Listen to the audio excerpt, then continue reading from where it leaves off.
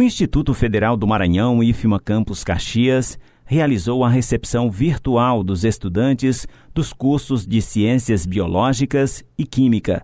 Estes estudantes foram aprovados na edição 2020.2 do Sistema de Seleção Unificada, o SISU. A recepção ficou a cargo da Diretoria de Desenvolvimento Educacional. O início das atividades se deu através da ambientação para os alunos calouros, é, que foram aprovados no última, na última seleção do SISU, alunos dos cursos de licenciatura em Ciências Biológicas e licenciatura em Química. É, além disso, é, cabe ressaltar que as aulas ainda do semestre 2020.2 continuarão de maneira remota.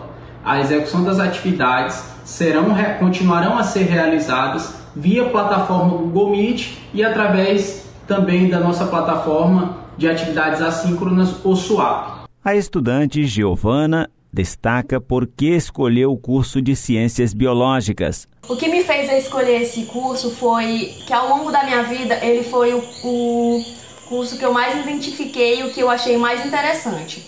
E eu escolhi o IFMA porque pela boa referência de ensino-aprendizagem e pelos bons profissionais e pela boa infraestrutura do prédio e a facilidade é, do acesso que os alunos têm, tanto aos profissionais quanto, a laboratórios, bibliotecas, entre outras coisas. Entre os dias 22 e 26 de janeiro, os profissionais apresentaram à instituição o sistema de avaliação e como se dão as atividades pedagógicas, além da apresentação do calendário acadêmico e outras regras dos cursos.